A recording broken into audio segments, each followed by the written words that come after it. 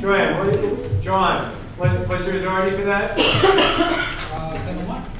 No, for the basis. So basically, oh, okay. Ashley, you had your hand half up. Just say it loudly. Ten fifteen, basis of property acquired by gift. So what's the basis normally? It's carried over. So it'd be two hundred thousand, right? But Stephanie says you're wrong, right, Ashley? And Stephanie, you're challenging Ashley. Section ten sixteen says no adjustment should be made for taxes or other carrying charges described in section two sixty-six. Okay, but Stephanie, you're, you're putting your job on the line. You're, I'm the client, I'm the supervisor, you're saying it's two sixty, so go for it. Why did you say two sixty, not two hundred, Stephanie? Um, just because I was taking the two hundred and then I was adding the, um, gift tax. Okay, you know what my next question is. What's the basis? What's your authority? What's the authority? Uh. Is it just, you know, it just, and would you ever take such a favorable position for your client, knowing that your job or malpractice suit was on the line? Um, and fifteen D. Okay, you want to read it to us so that, Um, increased basis for gift tax paid in general if A, the property is acquired by gift on or after September second, nineteen fifty-eight, the basis shall be the basis determined under subsection A increased um, by the amount of gift tax paid with respect to such gift. all right, so stop. So Stephanie, you're feeling pretty good, right? A yes or no? Sure. You ever watch, No. you have a cell phone? Huh? You have a cell phone? Yeah. You- Can you check it for a sec? Is it after nineteen seventy-six? Yeah. You look at ten fifteen D six.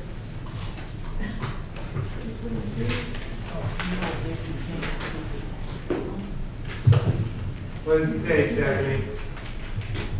Uh, in case of any gift made after December thirty-first, Okay. nineteen seventy-six. Oh, do you think that might be relevant? Probably. Uh, keep going. The increase in basis provided by this subsection with respect to any gift or gift tax paid under chapter twelve shall be an amount which bears the same ratio to the amount of tax so paid as the net appreciation and value of the gift bears to the amount of the gift. All right, so Stephanie, they're asking, they're saying that you don't get an increase by the entire gift tax paid, okay? It's, and I have a lousy magic marker, I apologize, see if this one works better. It's the gift tax paid times, what's the numerator and denominator?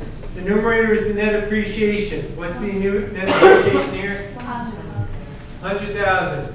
What's the amount of the gift, Stephanie? Uh, two, two hundred. No, how much did a- a- Annetta get? Oh, uh, three twenty. No, at the, when she got the gift, what was the amount of the gift, Jesse? Was sixty dollars? No, no, how much was the gift, not the gift tax paid? 300. 300, right? So what is the basis here? Say again? Twenty. The 220,000, guys. Let's say check 60 times 130 is 20. So it'd be 200 plus 20 is 220. So the gain here would be 100,000.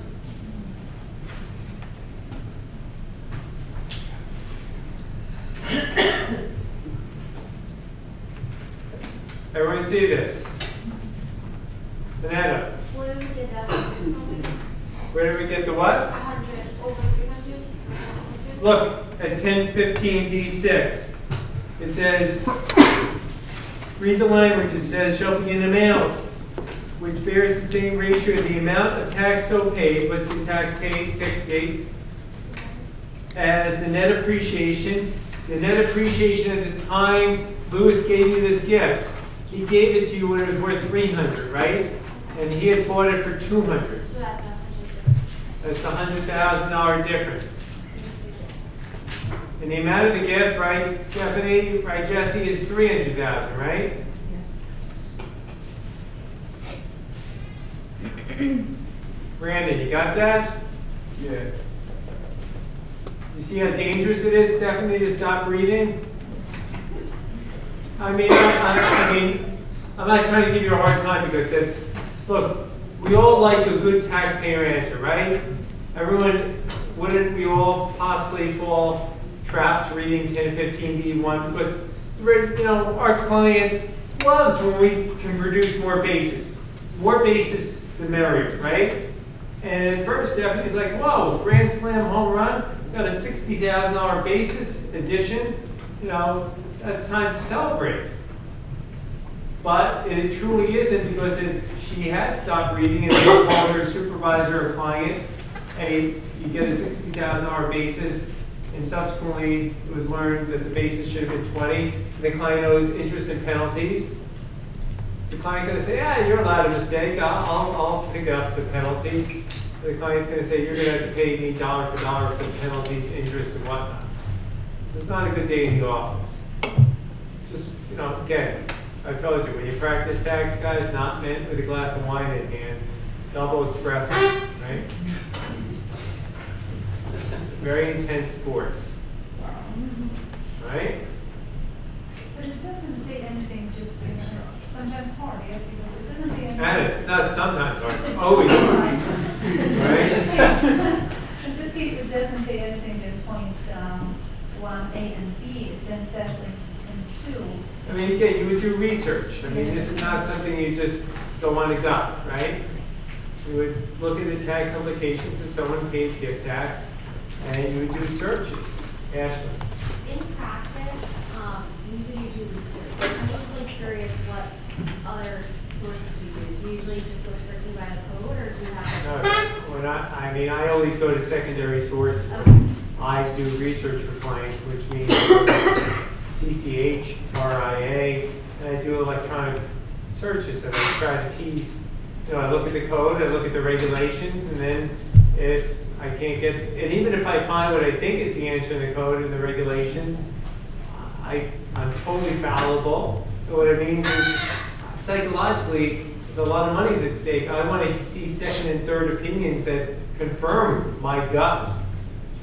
Okay, so again, I rarely, you know, rarely would just go on my reading of the code or regulations. I want to see other people, what they have to say. Right? So question B, what is shelter's basis in the apartment? Okay, what is shelter's basis in the apartment? In this case, Michael. Fusco, what's your basis? Say again, Fusco? 320. Michael, agree or disagree? I agree. What's your authority, Michael? Um, Not sure. Fusco, what's your authority? Would you agree, Alicia? No, it's one, uh, one, two. Cost. 10, 12, right? Also, don't say 10, 16 because there's no adjustments here, right? You're just acquiring the property, right?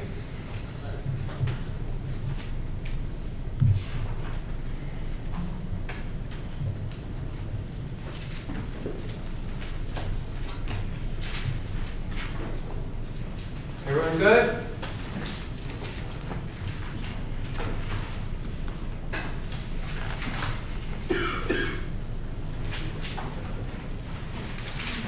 Luca?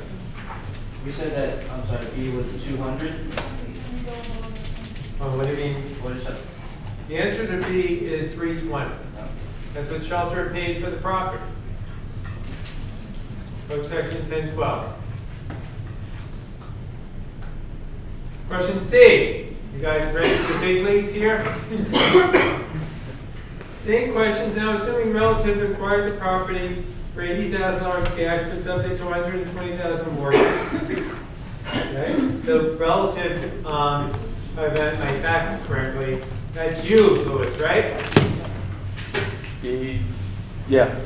All right, so you, you- you're gonna buy it for eighty thousand cash, but subject to hundred and twenty thousand mortgage. What's your basis in the property, hundred thousand.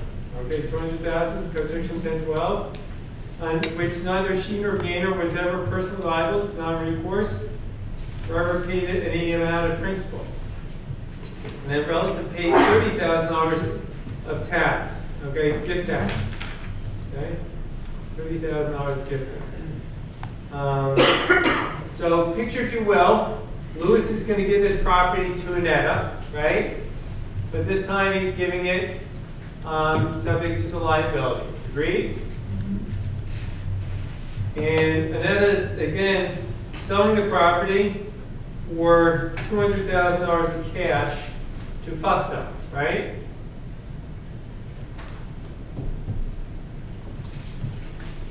So in this case, um, Tina, Yolanda, what's the amount realized here?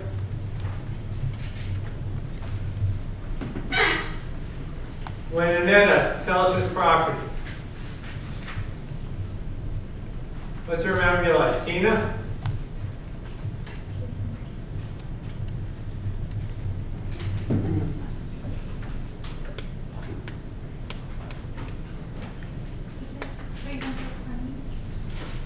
Three twenty, Yolanda, agree or disagree?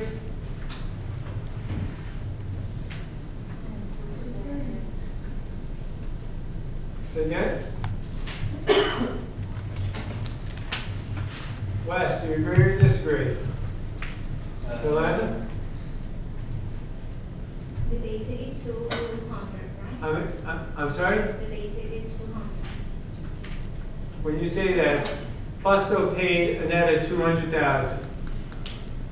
What's the amount realized to Annette?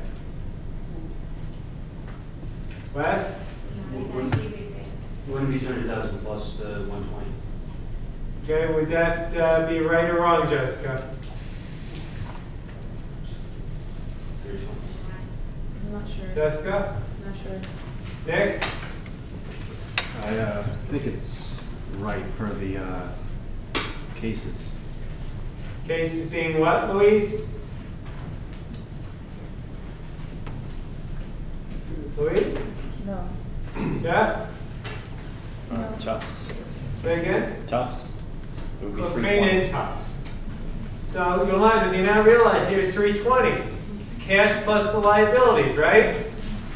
No trick? The amount realized for this question three twenty. Everyone agree?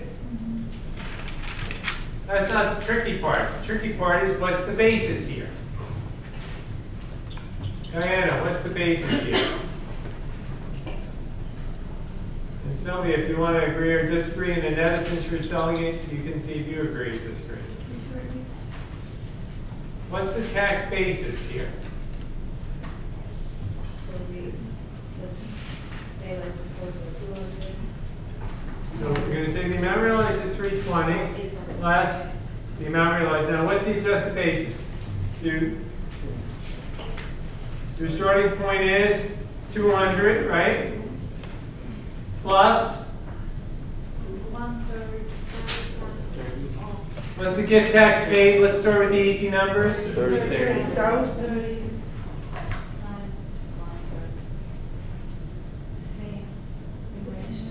So you would say it's, yes. So you'd say the basis is two ten, right? Yes. Is basis good or bad? Basis is good, okay, everyone agree? Sound like Gekko on, uh, the movie Wall Street, greed is good, basis is good. He was wrong, I'm right. Basis is good, okay? But Diana, is there any way we could get a better answer for our client here? Any better answer here? Go ahead, Brian. Would it be two hundred over three twenty? Two hundred, where'd you get that? Two hundred because How much did it appreciate in uh, Lewis's hands?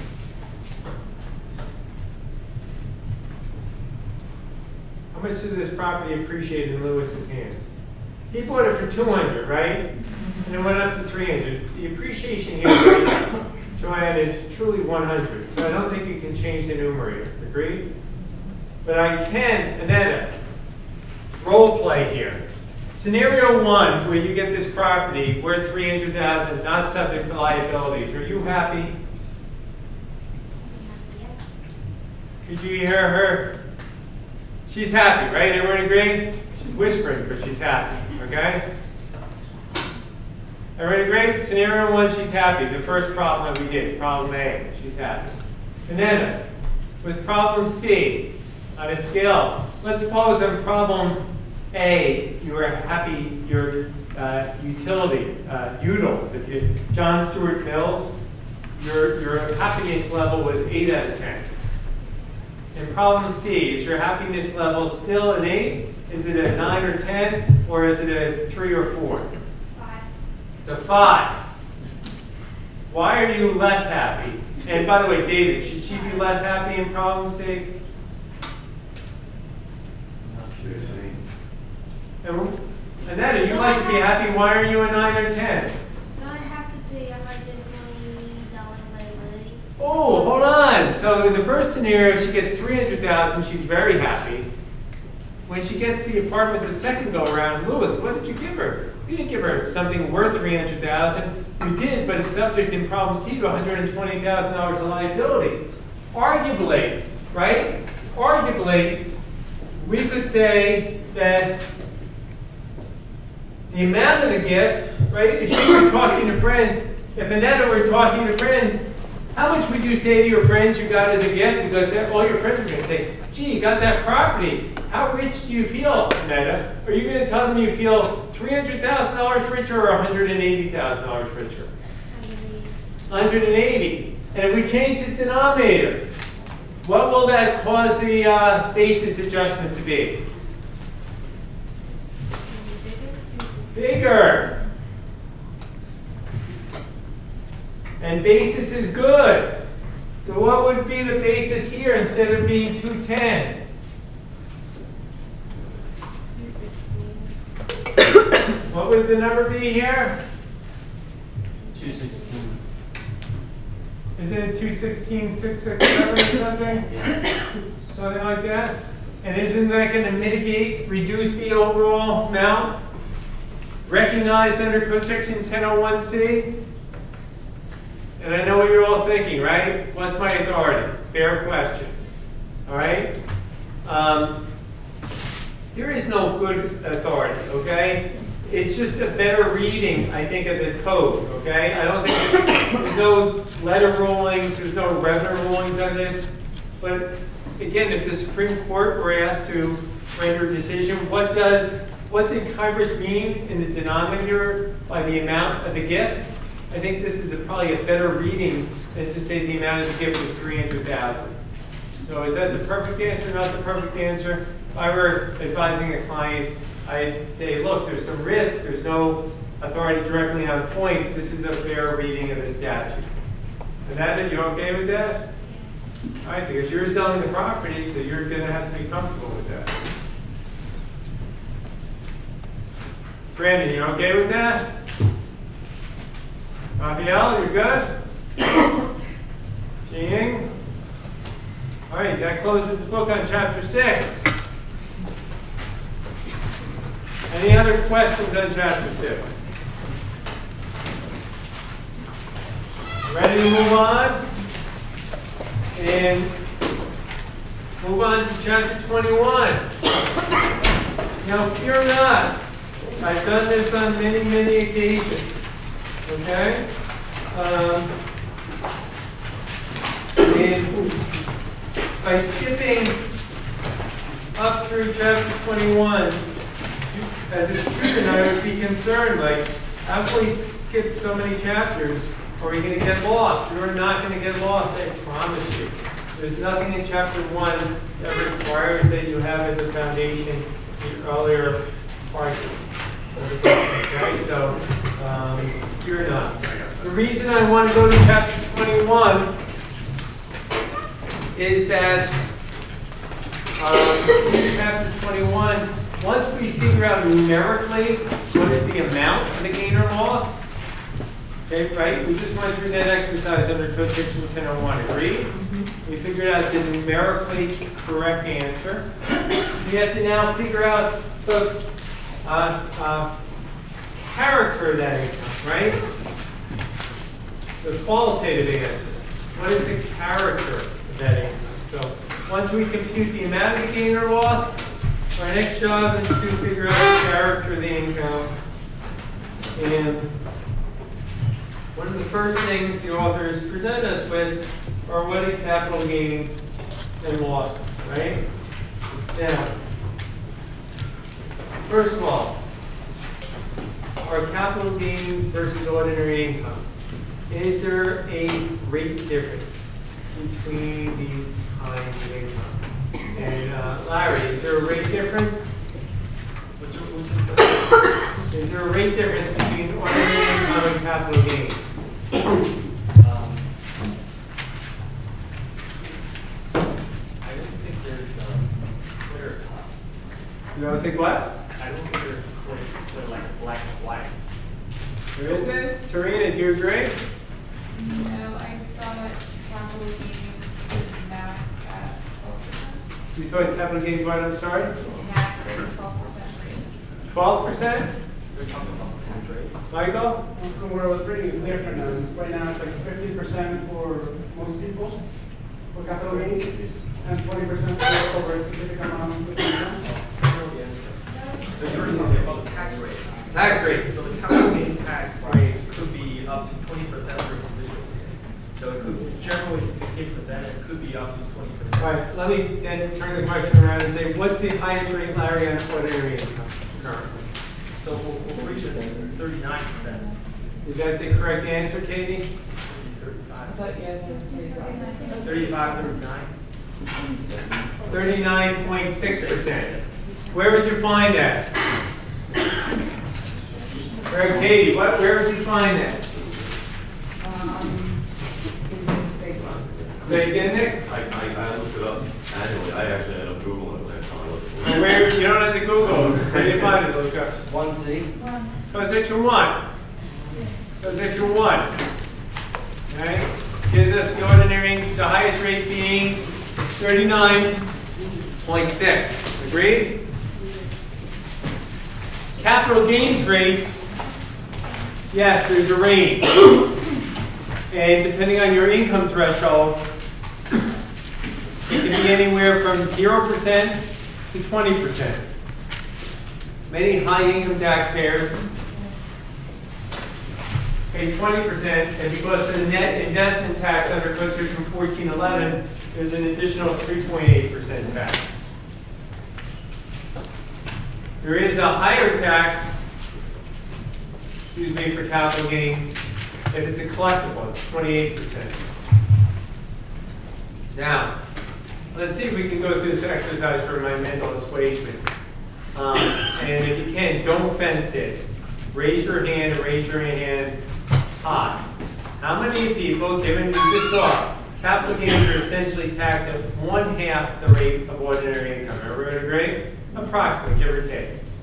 From a policy perspective, how many of you think strongly that capital gains should be accorded this preferential rate? And then uh, my next question, just to give you a heads up, how many of you say that capital gains and ordinary income should be taxed at the same rate? So, first question, how many of you feel that there should be a rate pre- preference accorded to capital gains? So, how many say not? Right, so the knots are in the the minority, right? Everyone agree? Overwhelmingly, you guys say that there should be a rate preference. Nick, you raised your hand very quickly. What, can you name a justification? Well, for me, it would be you're doing more above what your normal, normal income would be. Uh, From what I, from the way I interpret or understand it, your capital gains is actually extra investment, so. I'm not sure what you mean by that. Rental, rental properties, for example, if it's not my main source of income, it's not my main business, uh, as to where. So I'm just curious, why would it, I'm just, oh, I'm not My rationale is extra, it's extra tax that you're, you're drawing from, even though you you could construe it ordinary income, it's extra tax that you're drawing from, and it's not, and the rental properties, for example, are passive, But what, passive income, from what I understand it to be but, passive. but why give a preference? I- I mean, the fact it's maybe not, I mean, you can earn more, some people do, when it's not their primary job. Um, why afford capital gains, special rates in those instances? I mean, some people might win more from gambling, it's not, we don't give gambling winnings preferential rates, even though it's a secondary source of income, right? So I'm not sure if that justifies it. And I- I mean, I'm against it, but just, it's more risky, I guess, to invest in. It's more risky. Only in stock market, because capital gains is not only stock market. But primarily stock market, let's admit it, Diana. So that's what I. Does that have to do with being the, already being taxed under the corporation, so that it's already being taxed on the individual again? I mean, but it's not always, I mean, it is stock market, but land and other capital assets also according to capital gain treatment, so, uh, Wes? Well, your, your original income was taxed at, say, like thirty-nine, thirty-six percent. Right. And that extra, that money left over after you pay your tax, you're taking a risk of buying a piece of land for investment. And so you're saying, but I mean, you could take the money and put it in a bank, and it earns interest, but we don't get preferential rates of interest. Uh, But I think it, I mean, that extra capital expands the economy. But, but let me just ask you, money in the bank, does it just sit in the bank, or do banks Uh, lend it? Well, it should get lent, but it might not. What? It, it should get lent, but it might not. But banks aren't gonna be in business long if they don't lend it out, right? Yeah. Claudia? I think it's because it's good for, for the economy. Why? Keep the rates stay low. Because that um, incentive the, the commerce between parts. I mean, but, but at the same token, if you give that incentive, if you reduce the rates in general, it might cause people to put more effort into labor, so something's gotta give. You wanna keep it revenue neutral and collect X dollars, whatever that number is, is it warranted to give capital gains a break? You're gonna say, I feel like this only, Just say it this loud. this only helps affluent individuals like hedge fund managers who have the money to invest, where they don't have to actively participate in basically making money off of I mean, there is this two and twenty, uh, there is carried interest that's getting preferential rates, David. So versus the average Joe who gets taxed at an ordinary income rate, he's paying more money than the hedge fund manager who's like basically pooling money But it's and paying a lower rate on taxes. So how does that, I, there, there is a, how does that? capital gains, the, the benefit of capital gains, the preferential rate overwhelmingly inures to those who are wealthier. There's no ifs, buts, or maybes about that. David, and then Ashley, and then I'll make some comments. In, in the modern day, when every Tom, Dick, and Harry has been convinced they should be invested in some way, we don't need these outdated laws to encourage more investments for the economy. Every dollar everyone gets is being invested ten times over. Everyone, we've stopped having pensions, now it's four oh one K, money's invested. Bank interest rates are zero, so instead of a little bit of mutual funds, that money's being invested. Everything's invested. We don't need to spur investment through. So You're thinking it's tax false spurring, Ashley, and then I'll make some comments. I was gonna say, I don't- I'm not saying it's fair or not fair, but I'm saying from a policy perspective, um, I think it has to do with, one, probably rich people lobbying for this tax rate, and then two, I think it, it's to, um, encourage people to invest in the stock market, to stimulate the stock market right, I mean, let's just make some observations, or we could talk, I know, all night about this, and you're not gonna be well served by that. All right, one argument might be this bunching effect, right? That this income that you earn, suppose you invest in Google stock, you bought it, uh, today for hundred dollars, and it appreciates in value hundred dollars over the next ten years, uh, or nine years, so it appreciates from a hundred to a thousand, right? And then you sell it, and all nine hundred dollars worth of gain is captured in one year, and there's a bunching effect, so you go up the rate structure, right? So there's an argument to say, gee, um, we're gonna have all this income that was earned over ten years, um, taxable in one year. Now, that's an argument in favor of having a reduced rate. It's very arbitrary, obviously, because you're just, um, if the person holds for two or three years versus holding it for sixty years, you're still giving the same break notwithstanding, uh, the length of time. But query, take for example a lawyer who works on a tort action. It takes him or her nine years of hard work to produce a favorable settlement. Isn't that nine years worth of work all condensed into one year? So that income too would be bunched. So it's hard to justify the argument of bunching and say, on the basis of bunching, there should be a preferential rate. So hard to, hard to say. Uh, two, uh, people would argue that it juices up the economy, right? By having this reduced rate to incentivize people to invest in the market. Again, is that a fair statement? Why? Um, when Bill Gates and other entrepreneurs you know started up their, you know, Google, started up um, Apple, pick your company. Do you think they had a clue what the capital gains rates were? Or it was just in their DNA to try to uh, set up these enterprises? And I would argue that, you know, a lot of people don't need these incentives to start up their, their enterprises. Um, there is this also something known as the lock-in effect, that people will hold their investments, right? Um, even if they think there's a better investment out there, if you knew, for example, that you had a, suppose you bought something and making the numbers really easy, for essentially zero, it's now worth a thousand, and you have to pay 40% tax um, on this. And right now you're only commanding a 2% return in dividends, but and you see a better investment that you can get 10% return. You might not sell it excuse me, not a 10% return, a 3% return. So instead of having a 2% return, you'd like to get a 3% return. But right now, 2% on $1,000, if I do my arithmetic right, uh, is $20. If you see a better investment, 3%, uh, and after tax you only have $600, right? You're not going to make that investment because you're going to get a lower return because after tax, um, you have a, a, a, um, some this impediment. You're only going to be able to use $600 after tax. So some people say that you really need to create this uh, fluidity in the economy by having the capital gains uh, reduced rate. I don't know. Uh, there's a lot of economists who go both ways on that. Long story short, let me just make an observation for all the people who raised their hand initially saying there should be a preferential rate. Did this country ever have a tax rate where ordinary income and capital gains were taxed at the same rate? And the answer is yes. In the 1986 Tax Act, capital gains and ordinary income were both taxed at the highest marginal rate, then marginal rate of 28%. Guess what? That lasted for five years. During those five years, did the country fall apart? Did people cease to invest in capital?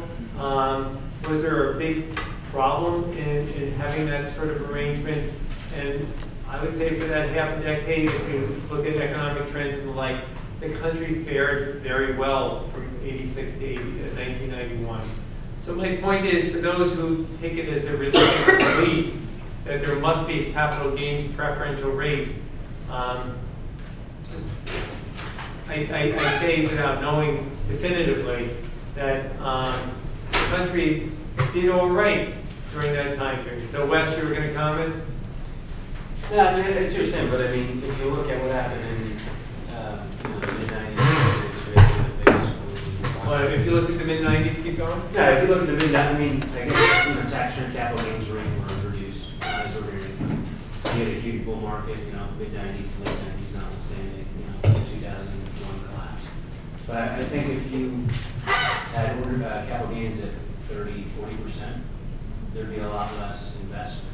Well, uh, no, let's just face it. If, if, if, if, we could, I'm a big subscriber, reduce the tax rates, and one way to reduce the ordinary tax rates is to make the capital gain, tax, gains tax rates go up. So I'm not saying make everything 40%, but if you can meet halfway, that might be a solution, Dave. Uh, I'd like to change sides and agree. I wouldn't want to deprive us all of riding this roller coaster of booms and crashes by doing anything that might temper investment even the slightest bit. So you're saying, again, temporary investment by raising the capital gains. All right, Uh, I mean, look, we could argue this, the point I'm saying is, instead of taking it as religious belief that there should be a capital gains preferential rate, um, again, my only point is, and by the way, one other observation, then we'll get back to the material. I would attribute twenty-five percent of the code's girth to the complexity that's engendered by having this rate differential, that by having this special category and a reduction of half the tax rates, we, you know, when people bemoan the complexity of the code, well, a large part is attributable to this rate difference. So let's kid, not kid ourselves, we're our, our own worst enemy. And again, is it justified? All right, enough said, at least for tonight. We'll continue this as we, as we do. So again, code section um, 1A, B, and C talk about ordinary income tax rates. Capital gains rates are found in code section 1H. Code section 1H. Uh, define what are capital gains rates.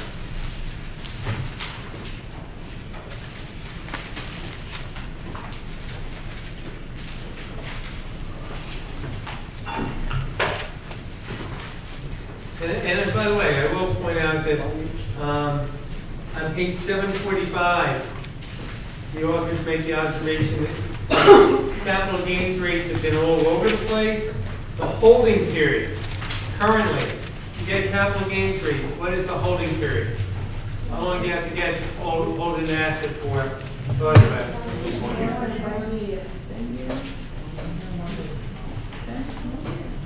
Where do you look? Look at code section twelve twenty-two. Twelve twenty-two, Matt, David, Brad, Anna, Diana. How long do you have to hold it for? One year or more. Now, what the code says, Nick, you were gonna say? There's short-term capital gain, I think I'm looking at twelve point one. Well, I wanna know long-term. Uh, long-term capital gain, more than one year, and it was Stop. Not one year or more, it's more than one year. But that, that's not what you said. Because if you tell a client one year or more, your client, if they sell it at one year, and they have to pay ordinary, short-term capital gains are taxed like ordinary income. So that's a dangerous thing to tell a client. You give a client an inch, they'll take a hundred miles, right? So be careful, right? The code is very specific. It must be more than one year. Okay. Um, all right. So that's capital gains. How about capital losses?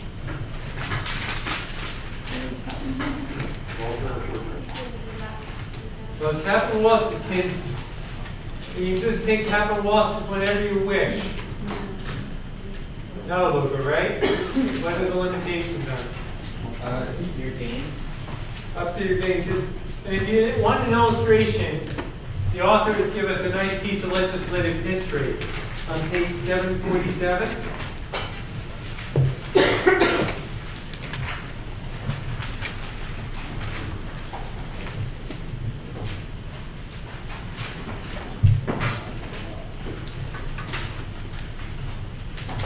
At the bottom, they give a piece of legislative history where someone has income of 350000 they have a capital gain that year of 100000 and they would only have to pay 12500 to the government. But if they earn that same 350 and they have a $100,000 capital loss and they could use that, it would yield a $58,000 worth of savings.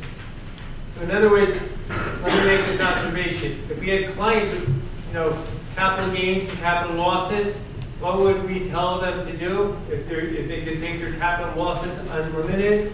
We'd say, oh, year one, take your capital gains. Year two, take your capital losses. Why? If you could get all your capital gains in this year, you'd get a, you know, pay tax of 20%. Next year, use your capital losses against your ordinary income and you could shield and save taxes at forty percent, right?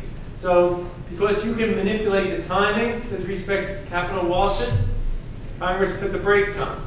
So code section twelve eleven, it's an important code section. Twelve eleven limits your use of capital losses. If you're an individual, you can only take the first three thousand dollars of capital losses. If you're a corporation, you can't take any of your capital losses. You can only use them against your capital gains. Okay, so let me repeat. For individuals, you can take your first three thousand of capital losses against ordinary income. You can always take capital losses against capital gains. Section twelve twenty-two.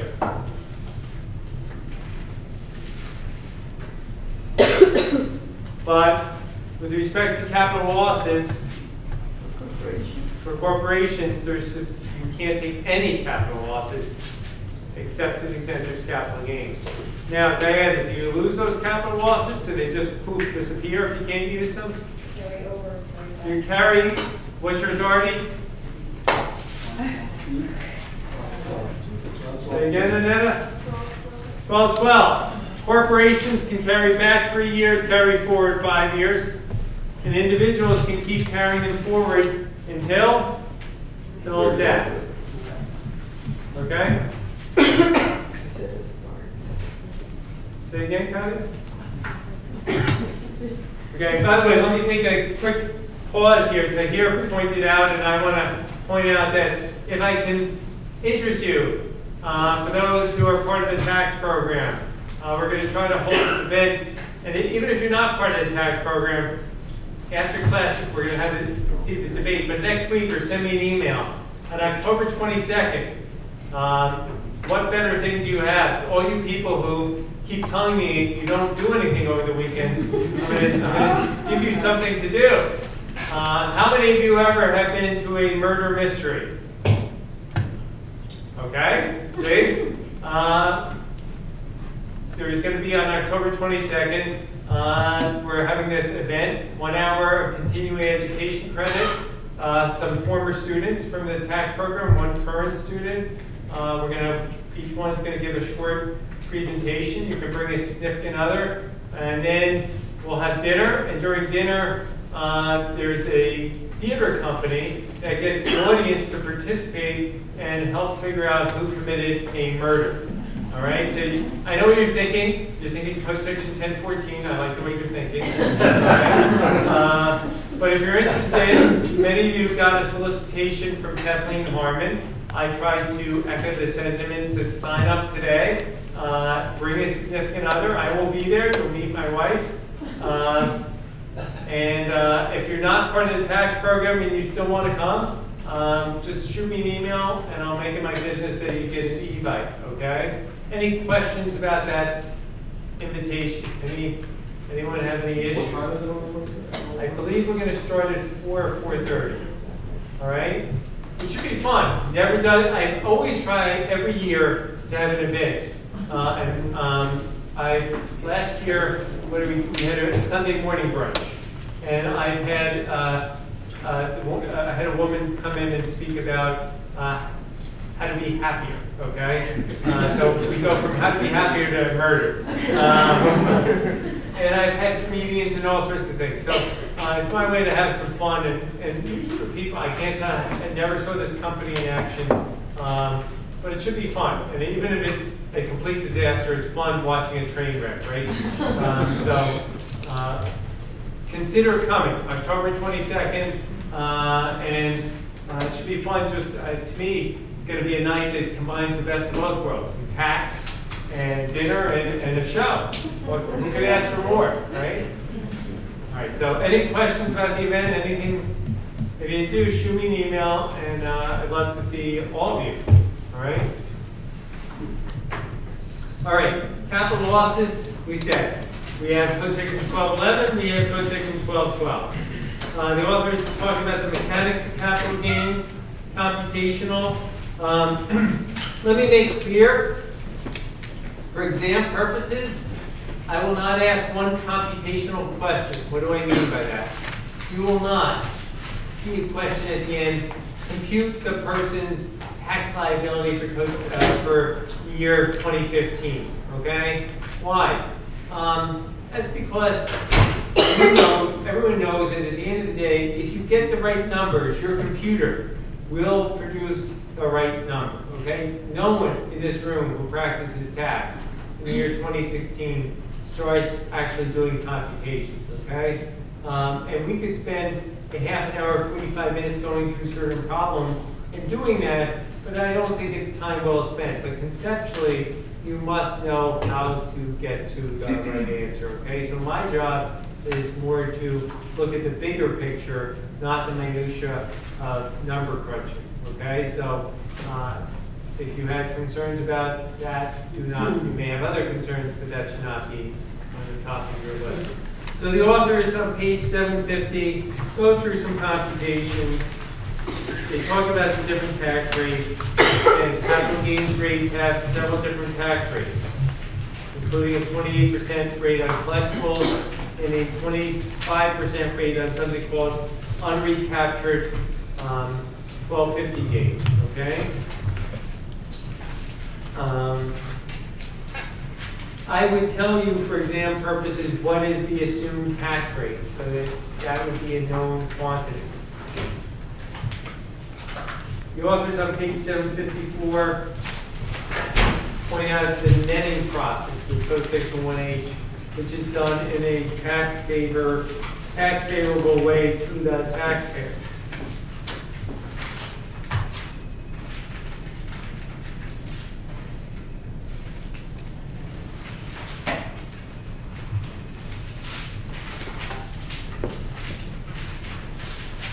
So having said that, let's look at page 755, because I just want you to get the fundamentals.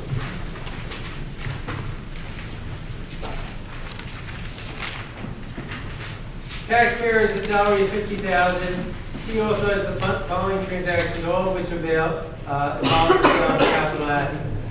A gain of 15000 on a collectible held for two years, a gain of 20000 on stock held for 15 months. Determine the amount of T's net capital gain. Well, last I checked, guys, the net capital gain here, surprise, surprise, is thirty-five thousand, right? And question B says, at what rate will the capital gain be taxed? Well, the twenty thousand will be taxed, let's assume, at a rate of fifteen percent, depends on the taxpayer's, uh, income, right? Because section one H, it could vary, it could be as high as twenty percent. Many taxpayers will be taxed at fifteen or twenty percent. There's also a twenty-eight percent tax rate on the collectible, right? That's all I care about. Can you handle that?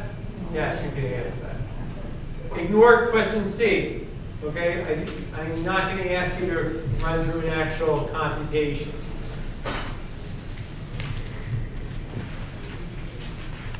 Question two.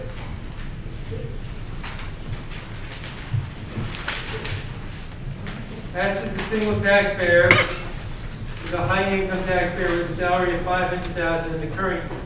S also has the following transactions involving the sale of capital assets. Gain of one twenty on the stock held for fifteen months, a loss of twenty thousand on the stock held for three years. Assume there's a flat thirty percent on ordinary income, disregarding any deductions.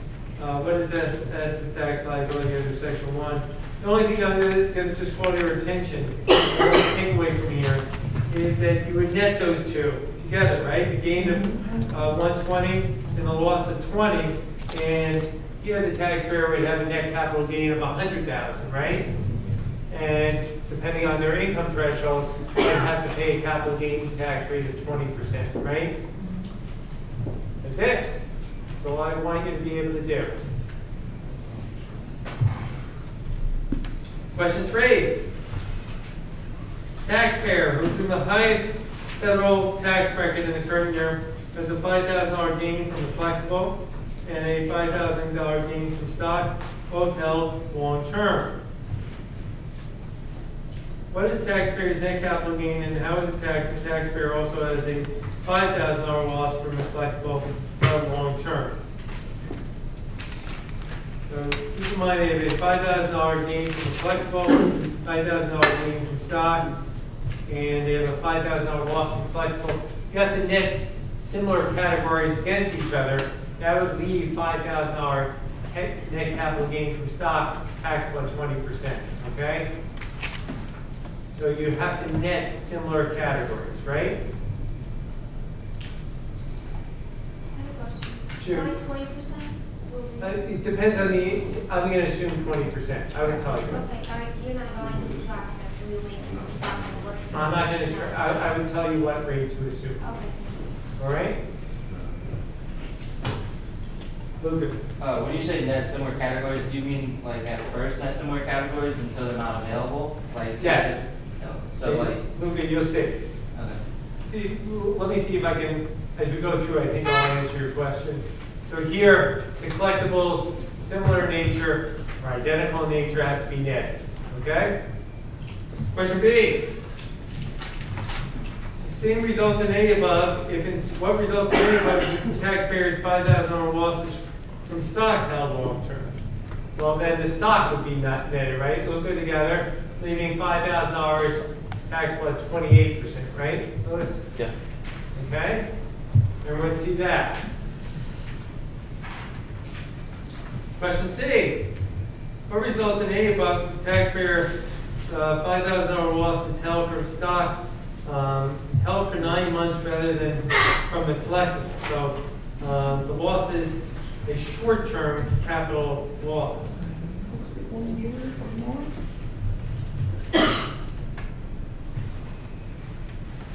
And here, that is not considered part of the same category as capital gain.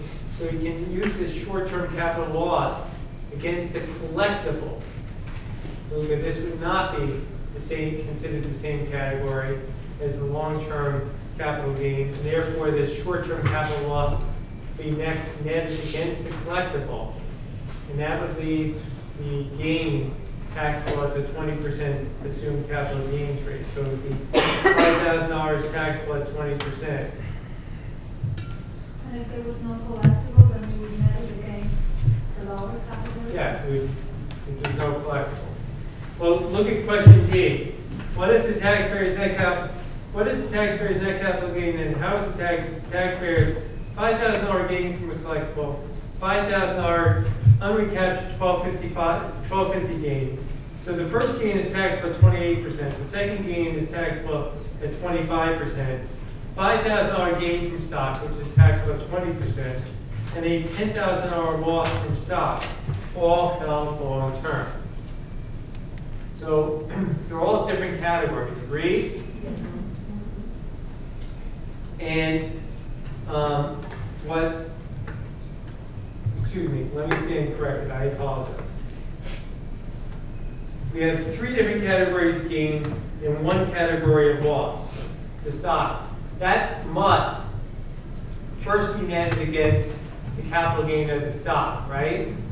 The remaining five thousand can be netted in a pro-taxpayer fashion to reduce the twenty-eight percent rate before the twenty-five percent rate. Let me repeat that. The collectibles tax twenty-eight percent. The twelve fifty gain is at twenty-five percent. The capital gain from stock is at twenty percent. You must first net against similar categories. So the $10,000 lost. loss, the first 5,000 out of 10,000 is going to be netted against the stock, right? Mm-hmm. The other 5,000 can be netted in a pro-taxpayer fashion. Are you going to net it against the 28% rate or the 25% rate? Of course, you're going to net it against the 28% rate, leaving the 20, the 5,000 taxable at 25%. And if you look on page seven fifty-four, seven fifty-five, with the netting, the authors give us in footnote thirty-eight, the authority for why this netting process is permissible, permissible. Okay? And if you go through footnote forty and forty-one, we show some more examples, okay, of the netting process. So, message.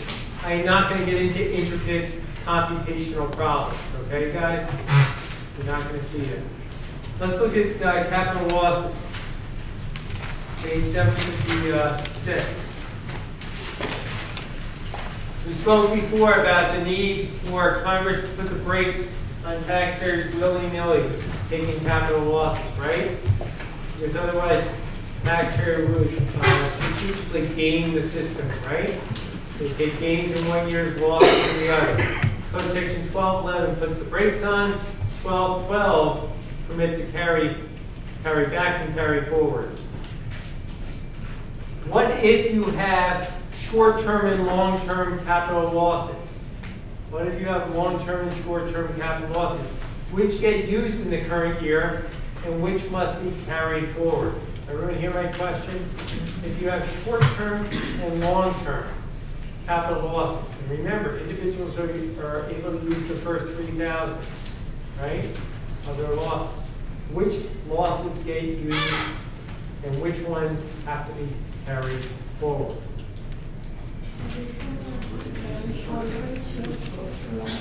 Say again? Short-term forward. See, short-term get carried forward? Which one do you use first, the long-term? Have authority? Short-term recession, twelve, twelve, two. Okay, Busto, I think Sylvia, Busto has authority, section twelve twelve B two for the proposition that you must use your short term first and you carry forward your long term. The bias is towards carrying forward the long term. Okay? The bias is towards carrying forward the long term.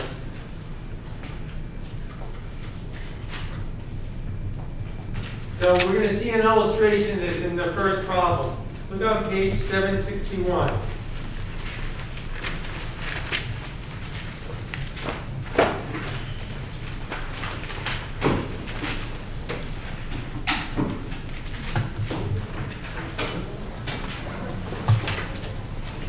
You have taxable income of 10,000, long-term capital gain of 2,000, long-term capital loss of 6,000, short-term capital gain of 2,600, short-term capital loss of 1,000. All right? What's our long-term capital gain or loss for year one? Guys? Four thousand dollars, right? Four thousand long-term capital loss, right? Short-term capital gain, short-term capital loss, what is it? Short-term, um, capital gain, right? So that yields what? Twenty-four hundred loss. Can we use it all this year? Yes. If you use that You can use it all this year against your ordinary income, right? Mm-hmm. You had ten thousand ordinary income, so you can use it, right? So we're good. Problem one, we're good. Everyone's good? Problem two. Short, long-term capital gain or loss? Loss. Loss of how much? Eight thousand. Eight thousand, long-term capital loss, right? Mm-hmm. Short-term capital gain or loss? Loss. Loss of how much? Two thousand.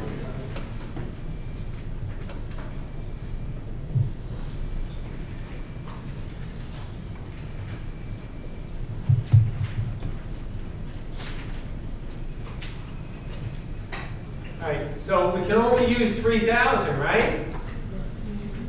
We have to carry over, how much? Seven, okay, everyone agree? But we don't know, at least initially, we carry, do we use, which, which one are we gonna carry forward? Well, twelve twelve B two, if you wanna open up, code section twelve twelve B two.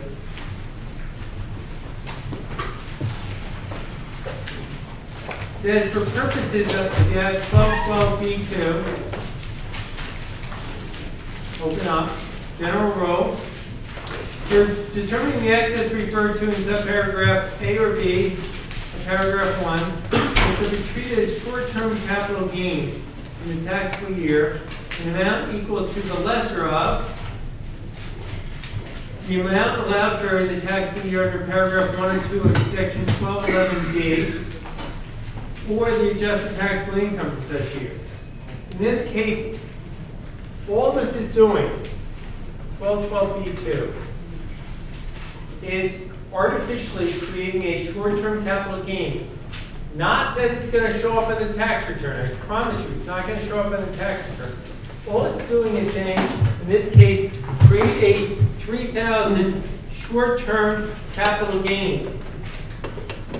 And by doing that, it will tell you what the excess is to be carried over for next year. And if you had a three thousand dollar short-term capital gain, guess what you would be carrying forward next year? Seven thousand of long-term capital loss. So Fusco, this is here purely as a filler to figure out the carry forward. It has nothing to do with what ends up on the tax return. It has everything to do with just trying to artificially create uh, or, or, or help you figure out what you're going to carry forward. Okay? That's it. Period. So if you want a rule of thumb, the rule of thumb is always use your short term in the current year and carry forward the, or the code forces you carry forward the long term for the following year. Okay? There's a policy behind this. Because the next year, will the long-term capital loss, is that good or bad for the taxpayer? Long-term capital loss. It's not good for the taxpayer because it's going to absorb more of the capital gain, the long-term capital gain, which gets the rate pressures, right? So it's actually, this is done in a way that doesn't work in the taxpayer's favor, okay? Think about it. This is a way it doesn't work to the taxpayer's favor. All right, code section, let's talk.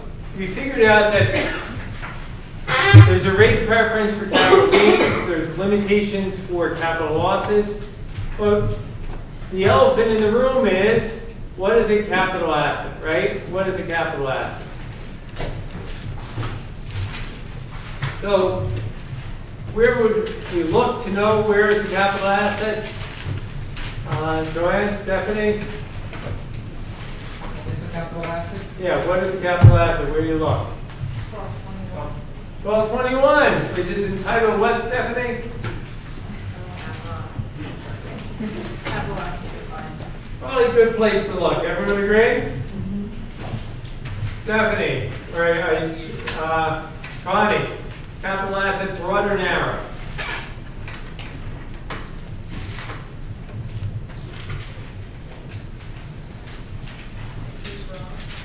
Broad?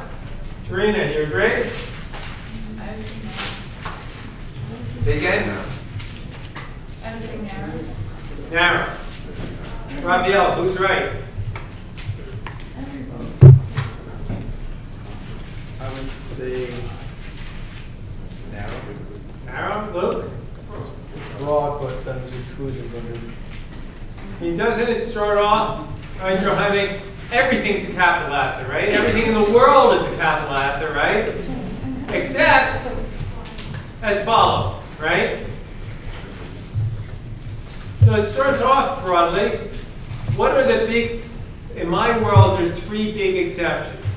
What is the biggest exception to the definition of what is a capital asset? Accounts receivable Accounts receivable is one. Even bigger. Inventory is the biggest, right? Everyone agrees when Home Depot, Lowe's, your supermarket sells you items, they don't report capital gains, right? It's all ordinary income, agreed?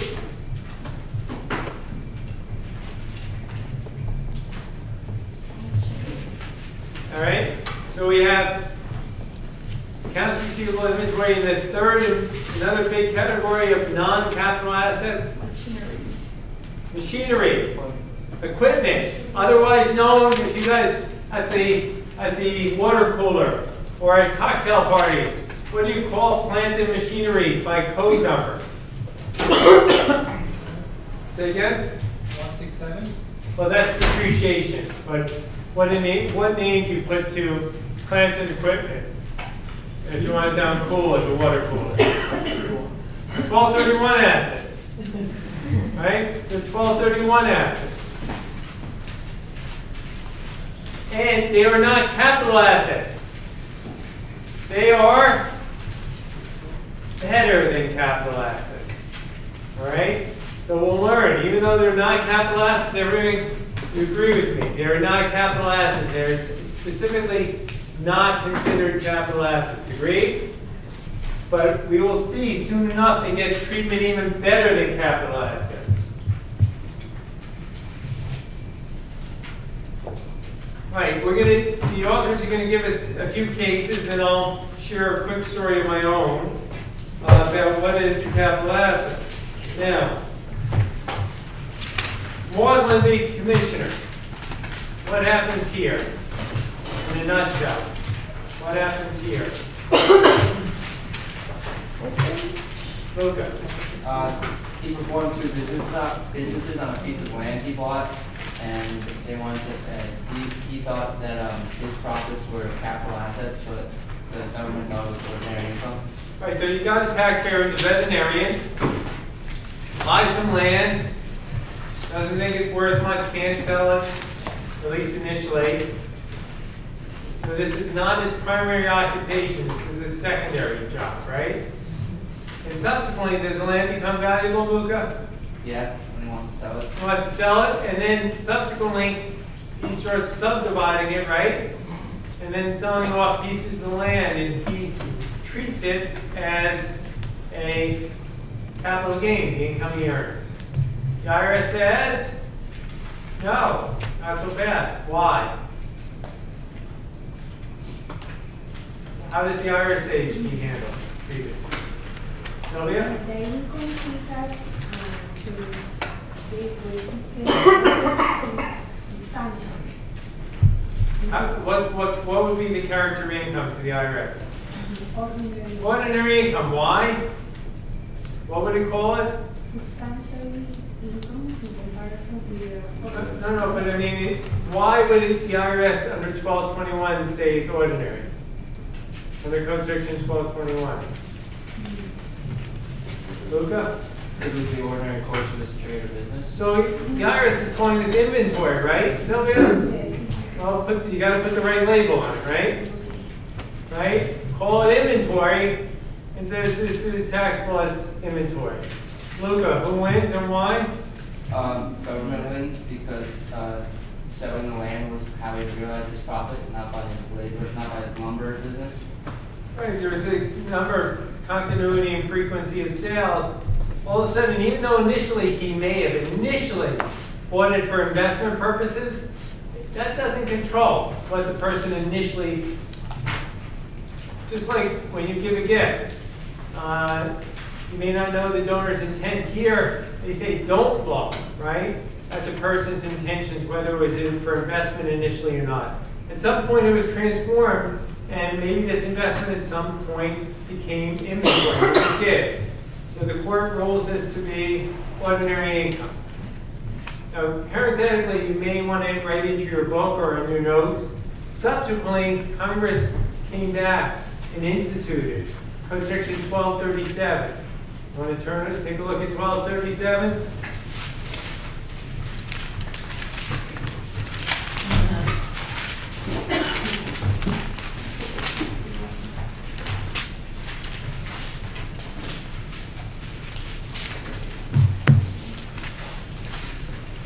Twelve thirty-seven essentially says that if you don't substantially improve property, and you sell five or fewer lots and you hold the property for um, more than five years, and you can get capital gains. So this is a pro-taxpayer provision, right? Twelve thirty-seven. Even if you sell more than five, it treats a certain portion as ordinary income. So I just want to call to your attention that Congress sometimes, right, can come back and write a favorable code section. Can, uh, if it chooses, right? So, Mauldin held the ordinary income. V. Riddell, this is a Supreme Court decision. What is the focus of this decision?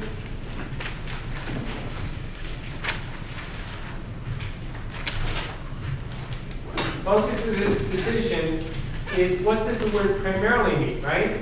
You look at the definition under 1221 of inventory, it has to be primarily for sale to customers. And the IRS was taking the position that the word primarily meant substantial reason.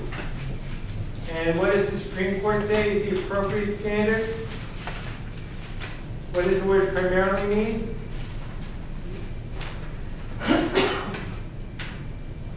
Primarily means, and um, if you look on page 767, the last, the, the carryover paragraph, the last sentence says, "We hold that, as used in code section 1221, primarily means of quote unquote first importance or principally." Okay, everyone see that?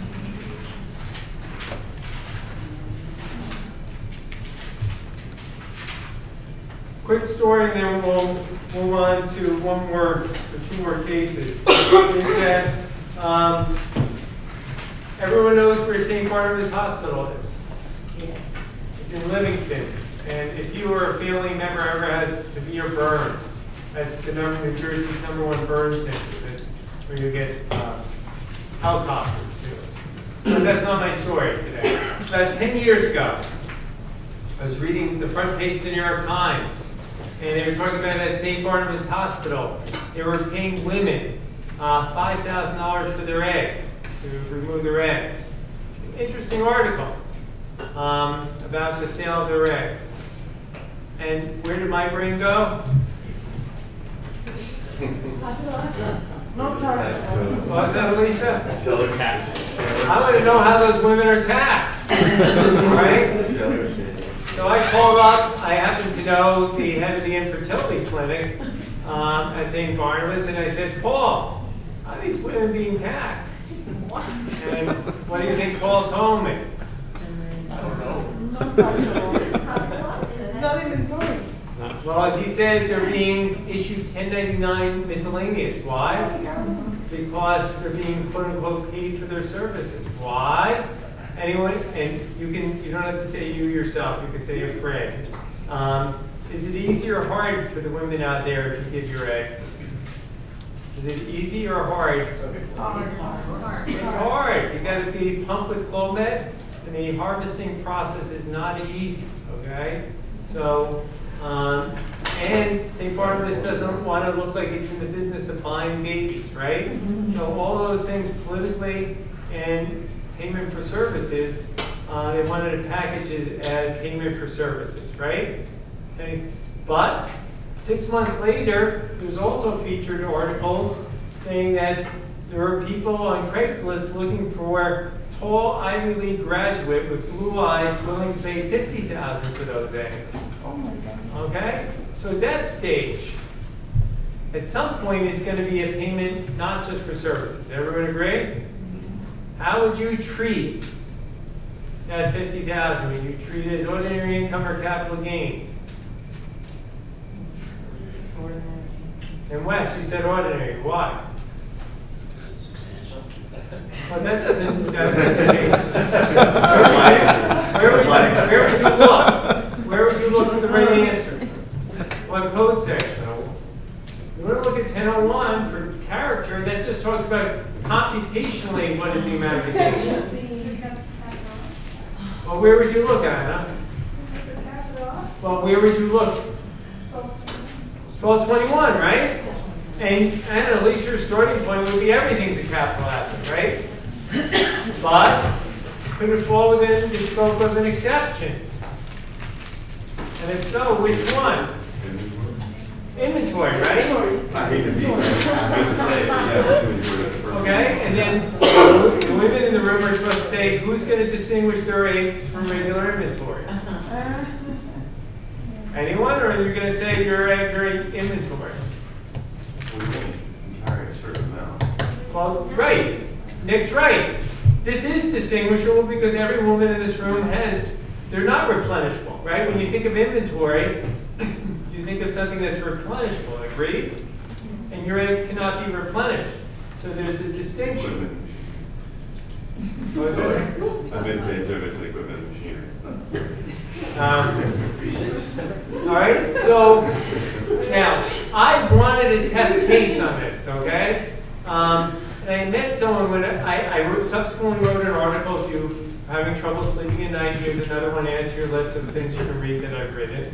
Um, and um, and I, this woman who I met said, "Oh yeah, I just sold my eggs." I said, "Great! I want you to report them as capital gains. Put it on Schedule D, and that'd be terrific." But she was an aspiring actress, and this was the fifth time she sold her eggs. She's not a candidate. And by the way, you're not supposed to sell your eggs more than once in your life. It's not something healthy to routinely get juiced up on Clomid. Um, so she wasn't the case. But if you want to Google Perez v. Commissioner, P-E-R-E-Z, this really frustrated me. Why? A woman sold her eggs and she took the position she had no taxable income. That this was simply, under Code Section 104, that this was simply a return of her human capital, okay? And that therefore she should not pay any tax. But to me, this was very poorly lawyered. Why? Because you always have a plan B. When you read these cases, virtually every case says, look, if we don't win on this issue, then we want, consider this. This lawyer never argued, hey, if this is not taxable, at the very least, she should have the capital gain and non-ordinary income. So, you can read the Perez case, it was just out last year, but this issue remains unresolved. So if anyone in this room or a friend of yours sells their eggs, it's still open. I, I'll take the case pro bono, okay? Seriously, I'm, I'm waiting. I'm still waiting. Page seven, uh, sixty-nine, quick, remember, code section twelve twenty-two says, if you look at code section twelve twenty-two, you must have a capital asset. That capital asset must be held at more than one year, not one year or more, more than one year. And there must be a sale or exchange.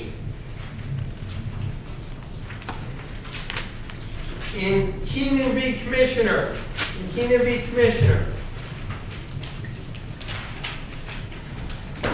the taxpayer had to pay a debt. Taxpayer had to pay a debt. If you pay a debt with an appreciated property, what did we learn from the first case that we looked at tonight? If you pay a debt, if you owe $5 million and you paid with Google stock you bought for $4 million, it's now worth 5 million. Is that considered a sale or exchange? And the answer is yes. What's my authority? This Kenan case is renowned, renowned for that proposition that if you use appreciated property to satisfy a bequest, it constitutes a sale or exchange. Why? It's as if the person sold the Google stock, got the five million, and paid off that debt with the proceeds. All right. So, um, Kenan stands for that very simple proposition. We then have the Hudson v. Commissioner case. In Hudson v. Commissioner, I'm a big subscriber to the notion that you have a picture diagram. And I will draw this out, but we had Mary had a judgment against Herbert Cole for $75,000. And Mary dies, so we'll put a big X through Mary. And Mr. Hudson was able to buy that judgment against Howard Cole, that $75,000 judgment for $11,000. Why was he able to buy a $75,000 judgment for 11,000? Because he was probably a deadbeat, and no one thought they could collect any money. so the estate was happy to get, you know, 15 cents on the dollar. Everyone agree? Ultimately, how much does Hudson get paid? 21. It's 21,000. He does not get paid the whole thing.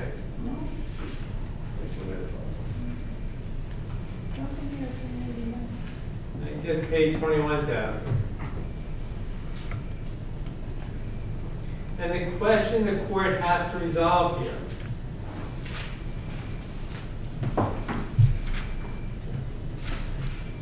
is what is the character of that ten thousand dollar gain, right? How does he, Galvin Hudson, want to treat it?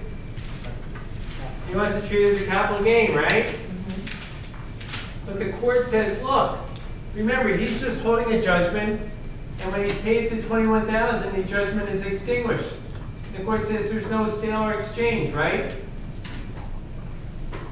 If you don't have a sale or exchange, you don't get to the promised land.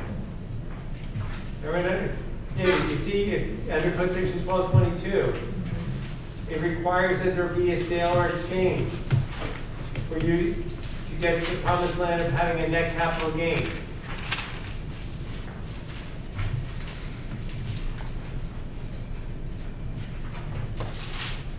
So ultimately, James, how is this treated? Ordinary income, right?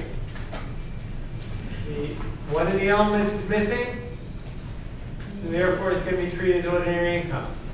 James, do you recall this, did Congress do a little tweaking here? Um, if you look at code section twelve seventy-one, final look for the night.